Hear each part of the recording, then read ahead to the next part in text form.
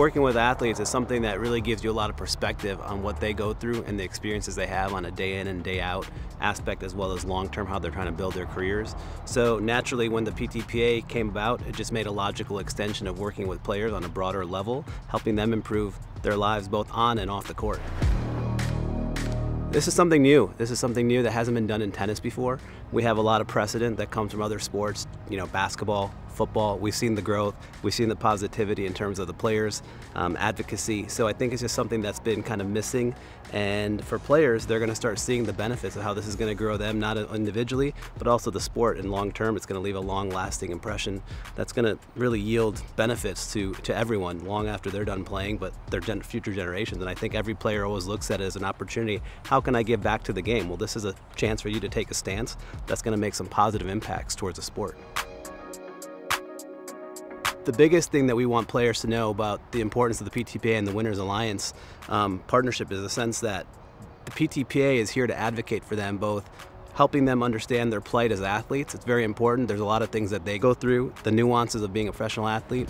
It's it's a unique experience. So we want to understand that. We want to help them uh, you know articulate that I guess to the to the sport and how can we really create additional opportunities for them to enhance their brand, enhance the sport. And that's where these group licensing and things like that have been done in other sports. It really just applies and it's applying those principles into tennis. And uh, we're going to see the growth of the game, um, not just for players individually, but players as a whole and as a collective. One thing that we want the brands to understand, this is a unique time in the sport of tennis. It's a hugely global, globally popular sport. I think we're seeing that there's a lot of interest. There's a new wave and um, of demographics that are looking at tennis, and there's a new crop of superstars.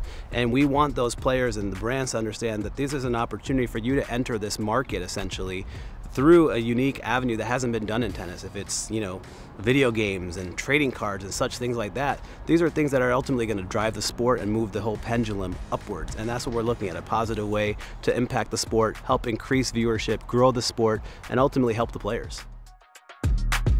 Yeah, my experience with athletes, you know, it's been very unique. Obviously, basketball players first, and now then most recently tennis. You really understand the plight of an athlete. Um, you know, for me, it was something looking at the plight of a basketball player compared to that of a tennis. Every athlete needs a team around them. In basketball, you're fortunate enough to have a team that you kind of go into with a coach, a whole process that handles everything. In tennis, you have to provide that ecosystem around them. So for me, it was something that just made a logical sense to help an athlete. But how can we help athletes on a broader larger, more macro level. And this was a platform with the PTPA that was just naturally something that was necessary in the market.